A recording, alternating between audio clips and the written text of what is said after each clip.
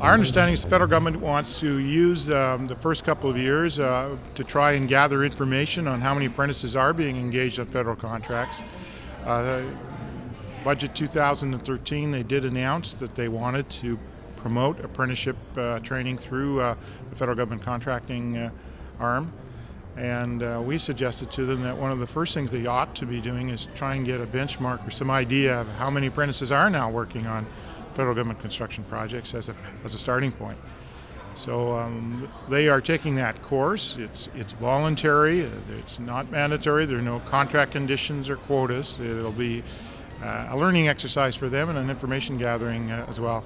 I believe also that they are going to do some surveying as, a, as, as, well to, uh, of contractors to try and determine uh, to what extent apprentices are being used on federal government uh, projects right now.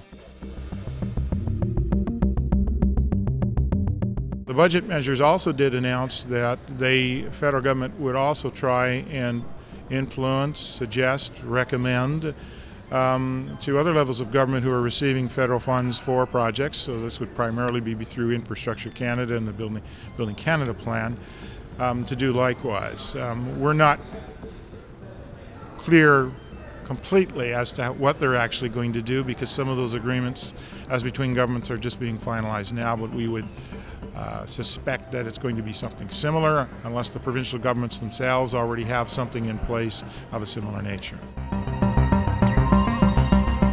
The provision of the information on how many apprentices are being utilized on the project is certainly not tied to uh, the bid criteria or the selection criteria.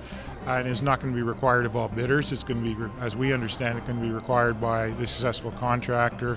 Uh, as to what point in the um, contract uh, in the construction cycle they'll be doing that. We're not absolutely clear on, but it again, it's a voluntary um, information gathering uh, piece. So. Uh, um, uh, you know, it, it, it's actually information that the construction industry itself, I think, would find very valuable.